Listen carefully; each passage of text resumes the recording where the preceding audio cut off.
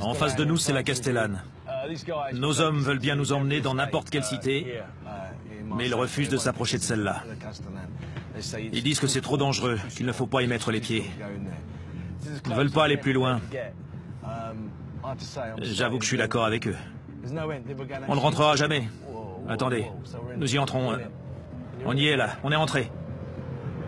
Tout à coup, mes guides décident d'entrer dans la cité de la Castellane, la plus redoutée de tout Marseille. Regarde. Il crie de là-haut. Ce mec-là, avec la chemise blanche, il nous regarde en criant.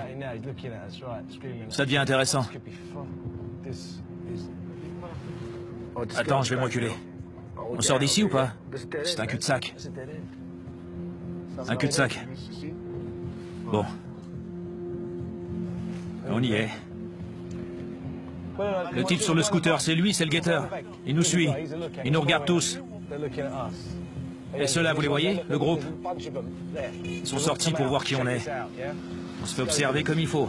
On dirait qu'ils vont nous lancer des trucs dessus depuis leur scooter. Il y en a un autre là. Donc en gros, regardez, il y en a un juste à côté de nous, là.